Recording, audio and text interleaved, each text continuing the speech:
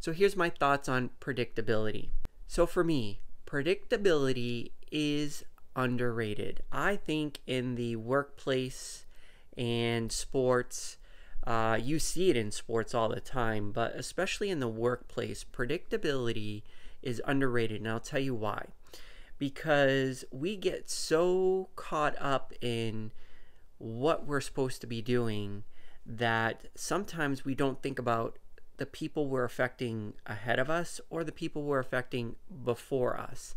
And if there was some sort of predictability to what you were doing, some sort of routine, then I would say that you would have a better relationship with the the group in front of you and the group before you. And communication is key, but more on that later. But if we were able to predict what was going to happen under certain conditions, I bet that your work would reduce or at least flow smoother than it currently does. And I also think that I lost my train of thought. Now, does this mean we're so predictable that our job becomes boring? I thought about that, and here's my take on that. I think the ability for us to improve our process is where the creativity, the excitement should come into play.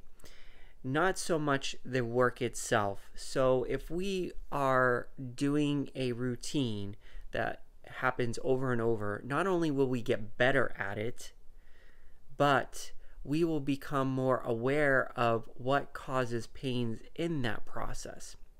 So that if we want to improve, it will be easier to improve. And that's what we should be looking for. We should be looking at ways to improve what we're doing and become predictable in that new habit. But I believe currently that we waste a lot of time trying to convince others of things that we're trying to do when once it's set, it may change the next day because you have become unpredictable. That's my thoughts of the day.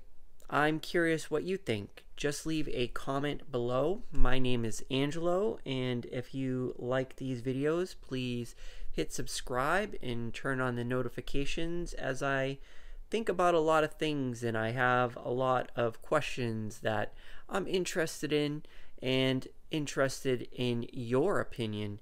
So if you are if you could let me know what you think, just leave a comment below and I'd appreciate that. And until the next video, talk to you then.